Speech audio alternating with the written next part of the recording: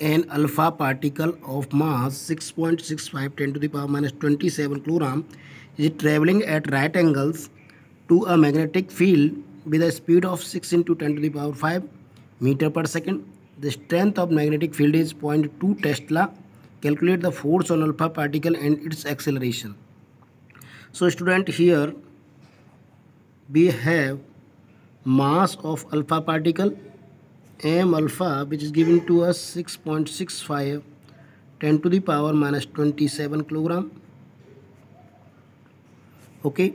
And you know that uh, charge on alpha particle which is known as the helium 2 helium 4 so q equal to here is 2 2e so 2 into 10 1.6 10 to the power minus 19 coulomb or 3.2 into 10 to the power minus 19 coulomb is the charge on alpha particles and velocity of alpha particle.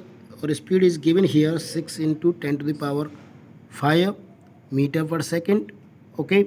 And magnetic field is also given to us which is 0.2 tesla okay? And angle at which it enter the magnetic field theta is 90 degree right angle okay? So we use the force acting on alpha particle F equal to QVB sine theta. So here we put 3.2 10 to the power minus 19 and V is 6 into 10 to the power 5 and magnetic field is 0.2 into sine 90. So on multiplication of this we got 3.84 10 to the power minus 14 19 minus 5 90 minus 19 plus 5 minus 14 this is Newton okay and you know that F equal to ma by using the force definition or second law of Newton's A is equal to F over m so F is 3.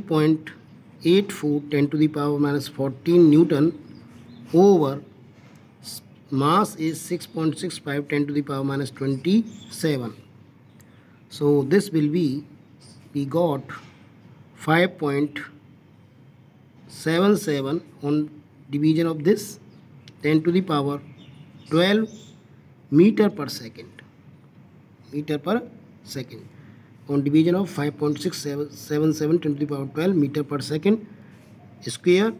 This is the acceleration of the alpha particle in magnetic field. So in this way we solve this problem. I hope you got it. Please subscribe the channel like the video and comment. Thanks for watching